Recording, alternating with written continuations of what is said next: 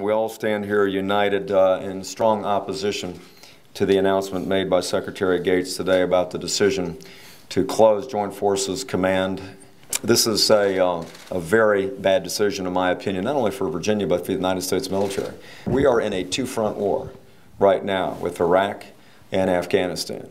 Uh, we have uh, other nations, China, Korea, uh, with military buildups.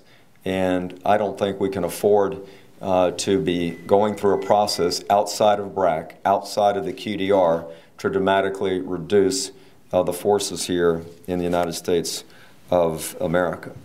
I certainly, as my colleagues have said, appreciate the fact that the Secretary of Defense is trying to find ways to rein in spending and spend our defense dollars more efficiently and more wisely. But a decision the likes of a proposal to eliminate an entire command has to be based on military value and on a proper business case and a risk assessment.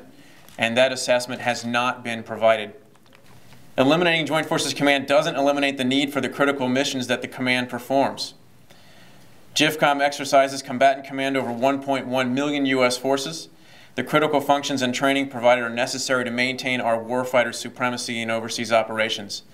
And if we can't do away with the demands that created JFCOM in the first place, it's hard to see how eliminating the command itself accomplishes much in terms of savings in the defense budget.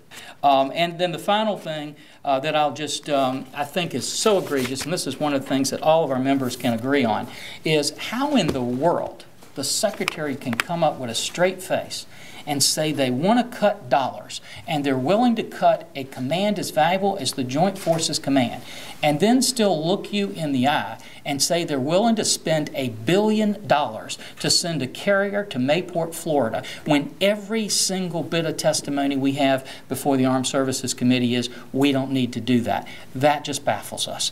So we're going to be in a united front trying to stop that.